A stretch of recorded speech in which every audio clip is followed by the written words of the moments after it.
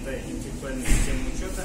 Здесь мы создали стенд действующий, который позволяет как а, анализировать существующие приборы учета, подтверждать их заявленные характеристики, также проводить интеграцию с существующими системами. У нас установлена программа Яхтин на сервере, которая собирает с этих приборов учета данные, причем мы завели в нее не только стендовые приборы учета, а, а Промэнерго действует на экране выведено.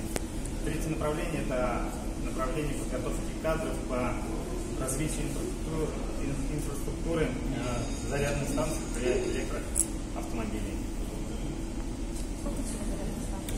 Михаил Сергеевич, Михаил Сергеевич, ваше направление.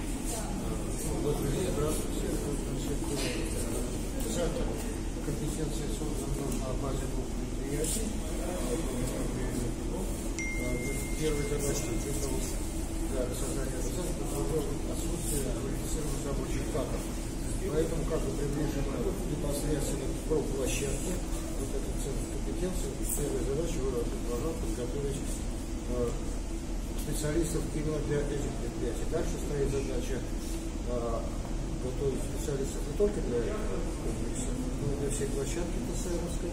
И плюс к этому мы значит, сейчас заключили соглашение с Колледжем. На взаимном действии по сетевой будем работать и центром работы напряжения от Зайца.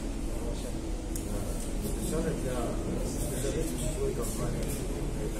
Ну а дальше будем смотреть и развиваться. Модель 20 работы дальше.